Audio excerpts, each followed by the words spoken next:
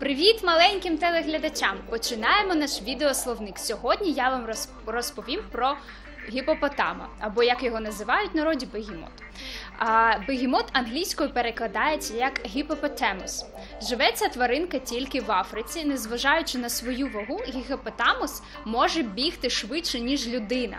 А ще у нього такі короткі лапи, що живіт майже торкається землі. Цікаво і те, що очі і вуха гіпопотамуса розташовані так, таким чином, що він може дихати, дивитися і чути, при цьому майже повністю залишаючись під водою. Ось такий він гіпопотамус. На все добре.